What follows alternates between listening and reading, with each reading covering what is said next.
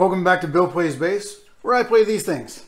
Uh, today, uh, looking at, uh, I'm not sure if this is the first short scale bass I've owned or not, but it's the only one I own right now. Uh, and this is an Epiphone EB1. So uh, short scale, 30 and a half inch scale, uh, all mahogany neck, body. I've heard Granadillo fretboard, depends on when it was made, I really don't know. You've got kind of this older uh, style bridge. Uh, they make a separate model now called an SG1. Uh, and I can tell you there must be a big difference because it's advertised as a lightweight and this thing weighs nine and a half pounds. This is not a lightweight bass. It is short, but it is not light. Uh, but anyhow, the SG1 can easily be identified stock by uh, the knobs. The knobs here are different. So uh, today we're just going to look at this guy. You know, we've got what uh, 20 frets. You've got the uh, the big old you know uh, Jack Bruce pickup. Um, yeah, it's got some you know decent tuners on it. Uh, there we go. Well, sort of. So the tuners are you know kind of uh, Fender. There we go. tuners are you know kind of Fender looking. I've had no issues with those. And again, this is it's got a very mild cutaway in the back and it is does have a nice cut here so you know you've got some arm comfort. Uh, I said again this thing is just crazy heavy. It's nine and a half pounds for something you know on the short scale. And you know it does uh, does feel small as I play it. It's funny the day I bought this I did not think it felt that way. And then strangely enough I just played a medium scale bass right before playing this one. So I was like oh wow. So you know uh, the things I like uh, about this I like it for uh, vintage tones. Uh, what you heard first was with the uh, treble turned all the way down, so I am going to play some more stuff uh, like that.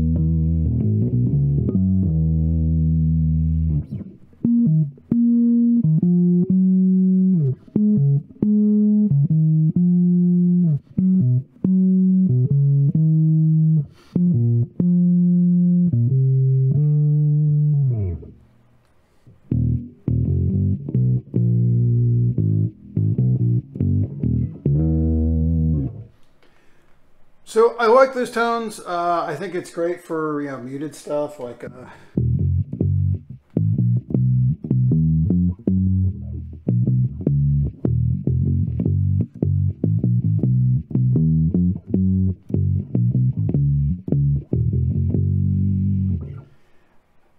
So you know, uh, I really like that uh, kind of the.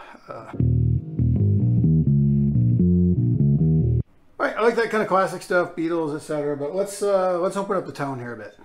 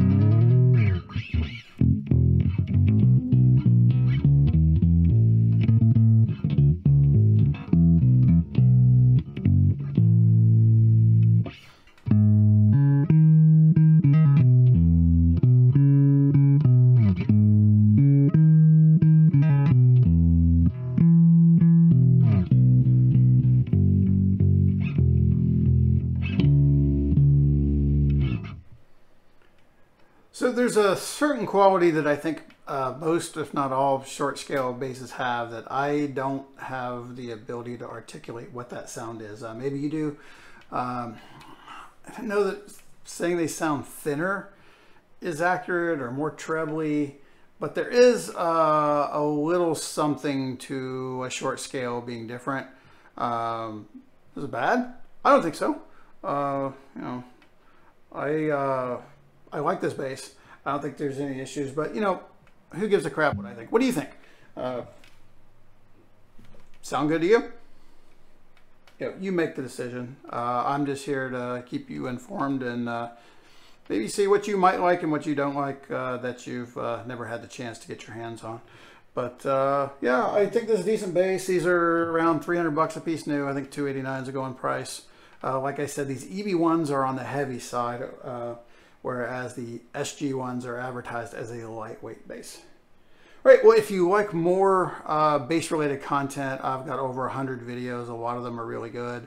Uh, I cover not only just uh, basses, bass amps, effects, that sort of things, but also some uh, basic repair stuff, setup stuff, you know, how to make your bass play a little better, sound a little better, uh, etc. So uh, please consider subscribing, and hopefully I'll see you next time.